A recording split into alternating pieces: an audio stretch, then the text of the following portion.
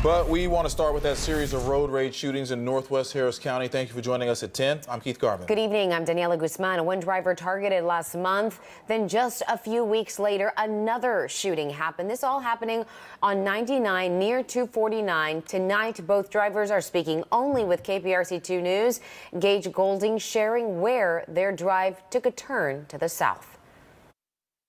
This is about as peculiar as a situation can get. We're talking two different shootings on two different days, but this is the same stretch of roadway. Heck, they were driving the same way at the same interchange and the same model of pickup truck. This white truck getting shot one time, but this gray Dodge pickup riddled with five different bullets. And yeah, there's a driver on the other side of this glass. Those bullets hitting a Yeti cup, even a bullet being dislodged in the driver's shoe. But what's amazing through all of this, both of them got away without a scratch. I heard the gunshot and I heard it hit my truck. I like hear like ting ting ting. Two eerily similar stories from two people that never met before today, but have more in common than you could imagine. Maybe they don't like the Dodge trucks. Anna driving around a slower driver who was camping in the fast lane a few weeks ago. That sparking the other driver to pull a gun and shoot her rear driver's side door. My boyfriend's jacket was laying on top of the seat went through the jacket. I'm grateful I didn't have my stepson in the back or else I would have hit him. Johnny's story, a carbon copy. Someone slow in the fast lane last Friday. He goes around and brake checks them. Not a good idea, but not deserving of five gunshots in the side of his pickup. When they pull up next to me, I just look over and see like a flash. His life also flashing before his eyes, a bullet ending up in his seat. You're sitting on it somewhere in there. Yeah, it's somewhere, yeah.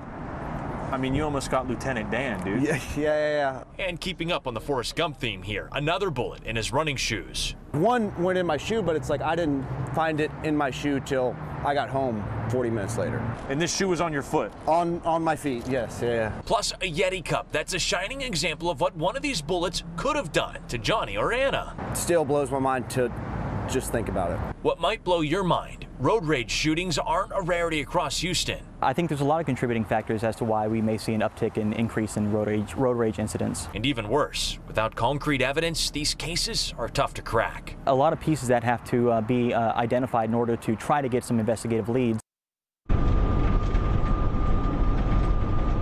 Out on the road, a dash cam can really help police track down any suspect in a road rage incident. Unfortunately, these two individual events, they did not have much concrete evidence to go off of. Now, if you catch yourself in a road rage incident of any level, the best thing you can do, check it out. Switch lanes, get some space between you and the other driver. And look, no matter how angry you might be, how upset you might be, never pull a weapon, even if it's just to threaten or scare somebody. Uh, putting somebody in harm's way is just 100% not worth it. I'm reporting live for you tonight. Gage Goulding, KPRC 2 News. We need to be more careful than ever, ever, Gage. Thank you, sir.